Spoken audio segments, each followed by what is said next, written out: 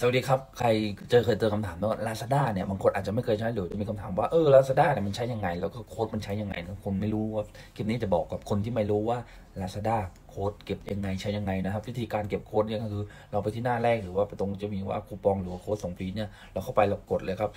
คือกดแค่นั้นคือมันดีตรงที่ว่ากดแล้วก็คือมันจะได้เลยครับเวลาที่เราจะจ่ายตังค์เนี่ยมันก็ไม่ต้องไปเลือกว่าเราจะเอาโค้ดไหนก็มันจะเลือกโค้ดที่ดีสุด แล้วก็ที่ลดเยอะที่สุดให้เรานะครับ หรือว่า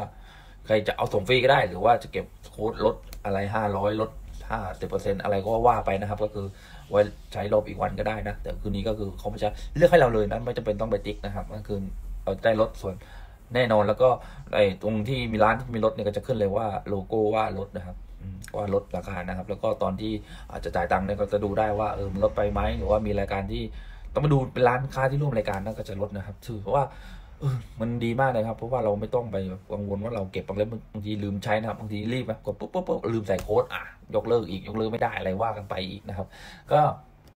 ก็ใครใครไม่รู้จะซื้ออะไรก็มีพี่หมีจะซื้อแนะนำเออเป็นสายชาร์จโฮโคเป็นสายไอโฟนนะครับถือว่าเออ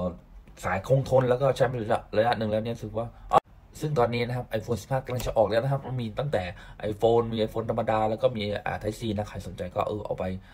แนะนำก็ได้เพราะว่าช่างก็ยังแนะนำว่ายี่ห้อนี้ก็คือไม่ได้กกแก๊กแล้วก็มีมาตรฐานมีมอกอมีผ่านการรับรอง ถือว่าใช้แล้วเนี่ยพี่หมีก็ใช้มาหลายเดือนแล้วเส้นเก่านี่เห็นไหมเส้นเก่านี่ยังไม่พังเลยนะใครสนใจก็จิพี่หมีจะทิ้งลิงก์ไว้ข้างล่างเหมือนเดิมนะครับก็สนใจก็ถือว่าเอาไม่รู้สึกอะไรก็ซื้อสายชาร์จตั้งไว้ก่อนนะเผื่อหายเผื่อขาดเผื่ออะไรก็ว่าไปนะมีอุบัติเหตุอะไร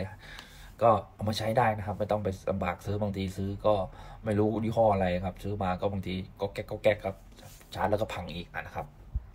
โอเคพี่หมีก็ลาไปก่อนครับ เจอกันใหม่คลิปหน้าครับลาซาด้านะครับ99นะครับ ไปเก็บโค้ดไว้เลยนะครับ